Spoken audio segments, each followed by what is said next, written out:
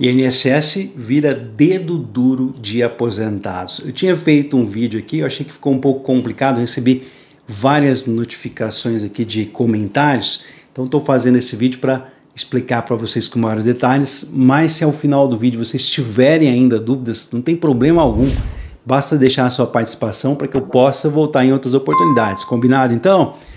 Sejam todos muito bem-vindos. Que Deus abençoe a cada um de vocês que está acompanhando esse vídeo agora. Já deixa aquele like e não esquece de compartilhar.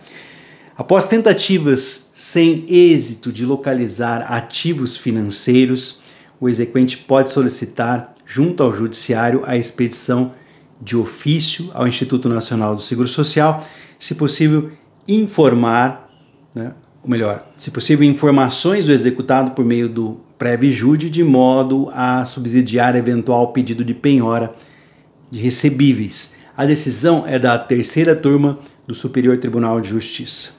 Olha, ao prover parcialmente esse recurso especial, o colegiado considerou que se mostra descabida a negativa da expedição de ofício ao INSS ou indeferimento na busca em meio ao pré-jude serviço que permite ao judiciário acesso automático a informações previdenciárias e envio de ordens judiciais.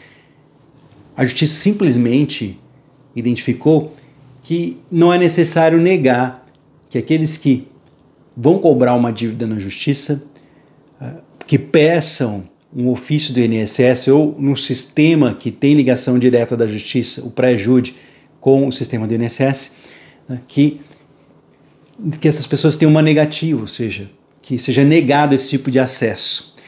Na origem dessa ação né, monitória em face de cumprimento de sentença ajuizada por uma empresa em face de, de um particular, foi julgado procedente para declarar o, o constituído a título de executivo judicial. A decisão interlocutória houve a negativa do juiz de origem, ratificando posteriormente pelo tribunal o pedido da autora expedido ofício ao INSS, né, do Ministério da Previdência e protestasse informações aí, objetivo de subsídios e eventual pedido de penhora de valores não acobretados pelo Instituto de Impenhorabilidade. Ou seja, então o juiz, logo de primeiro, ele negou, falou: não, essas informações são do aposentado, né, do pensionista, então a empresa não pode ter acesso a essas informações. Só que a empresa em si fez um recurso que foi né, para o tribunal e o tribunal deu acesso à empresa a essas informações do INSS referente aos recebimentos desse aposentado, né, desse pensionista. Então, para se ter uma ideia, eu achei que um verdadeiro absurdo é como se o, INSS virasse dedo duro na hora de penhora de aposentadorias. Então, criado para tornar mais rápido o cumprimento de decisões judiciais pendentes pelo INSS. Então, esse sistema ele foi criado na realidade para tornar o serviço mais ágil, né, mais rápido. É o sistema pré-jude. Ele ganhou outra finalidade aqui. O Superior Tribunal de Justiça confirmou que os dados armazenados nele devem ser compartilhados para ajudar na tarefa de penhorar a renda do aposentado, do pensionista do INSS. O aposentado que estiver devendo pode ter os seus dados financeiros compartilhados, o que pode ser provocado a partir da solicitação de um ofício no INSS ou consulta ao pré-jude nos casos de dívida cobrada pela Justiça. Além dessa autorização, a decisão do STJ também consolida a aposentadoria como sendo passível de ser penhorada. Exatamente. Dando né, esse parecer de acesso às informações do aposentado e pensionista em caso de dívidas, automaticamente coloca-se como sendo a aposentadoria pensão passível de penhora. Em sua decisão aqui, ao julgar o recurso aqui no estado de São Paulo, a ministra ponderou que a impenhorabilidade da aposentadoria pode ser relativa. Em sua decisão, justificou que o fato de a verba remuneratória ser impenhorável não é fundamentado apto a obstar sua busca, uma vez que se trata de impenhorabilidade, né, nós temos aqui relativa, o que pode ser eventualmente afastada. A ministra concluiu que a empenhorabilidade da verba remuneratória prevista no artigo 3, perdão, 833, 833, inciso 4 do Código de Processo Civil não é absoluta. Ou seja, a proteção da aposentadoria, da pensão daquele idoso, daquele aposentado, que não pode ter uma penhora em cima do seu pagamento que ele usa para sua sobrevivência, essa proteção não é absoluta segundo o pensamento dessa ministra lá do STJ. Por muito tempo, a aposentadoria era praticamente intocável, insuscetível de penhora judicial, mas essa garantia mudou. Os tribunais passaram a flexibilizar o entendimento de que parte do valor da renda previdenciária, da aposentadoria, da pensão, do auxílio, que seja, também pode ser destinada a solver dívidas do aposentado, sejam em caráter alimentar ou não. Após frustradas as tentativas de localização de bens do aposentado, o devedor em processo judicial, o INSS pode ser acionado como uma espécie de dedo duro, fornecendo dados sobre a existência de pensões, benefícios em seus respectivos valores. No banco de dados do INSS, congrega-se informações relacionadas a eventuais proventos de aposentadoria, pensões e demais benefícios previdenciários e assistenciais que determinado sujeito aufere ou recebe. Os membros do Poder Judiciário já têm acesso às informações do INSS, como dados cadastrais, extrato quinis, histórico de crédito, carta de concessão e declaração de benefícios. Agora poderá se valer de tais dados para compartilhar e permitir que o benefício previdenciário seja possa aí pagar outras dívidas. A flexibilização da regra de impenhorabilidade só ocorrerá quando o bloqueio não prejudicar a subsistência digna do devedor e de sua família.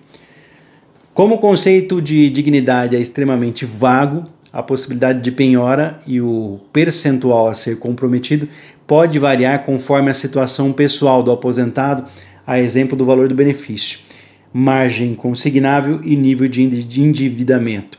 O percentual de quanto a renda do INSS será afetada vai depender de cada caso e da sensibilidade do juiz na hora de estar julgando esse caso. No entanto, o STJ facilitará o, que o aposentado, né, com a dívida na praça, poderá ter o próprio benefício para garantir o pagamento. Então, uma informação que muitos haviam cobrado aqui, o INSS está virando uma espécie de dedo duro de aposentados e pensionistas, uma vez que a empresa que tiver ali cobrando uma dívida de ser aposentado e pensionista, a partir de agora, ou enviando um documento, um ofício para o INSS, pode ter acesso à renda dessa pessoa ou através do sistema né, pré-ajude, o sistema da justiça pode ter também acesso a essas informações de quanto esse aposentado recebe, o quanto ele tem de margem consignável, ou seja, que pode ter desconto direto no seu pagamento, na questão de pegar um empréstimo consignado, o quanto esse aposentado, esse pensionista deve, enfim, abertamente aquilo que era considerado como uma proteção, um bem que não poderia ser penhorado, hoje a aposentadoria e a pensão pode, de acordo com a sensibilidade, o julgamento de cada juiz, ser utilizado sim para quitar dívidas. Exatamente, bens impenhoráveis podem ser a partir de agora utilizados para quitar dívidas de acordo com o entendimento de cada juiz, ou seja, desde que a pessoa tenha um mínimo para sua sobrevivência. Mas aí entram outras questões, né? O pessoal não vive só para comer.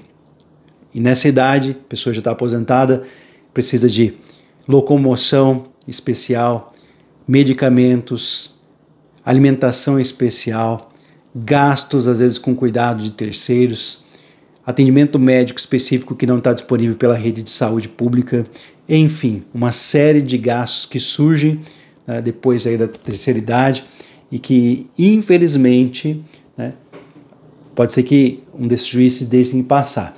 Mas para isso existe defesa, e aqui eu quero trazer para vocês que um bom advogado vai colocar fatores suficientes para mostrar que aquilo que a pessoa ganha não é o mínimo suficiente para ela sobreviver. E se faltar alguma coisa, então, ela pode cair num momento complicado da vida.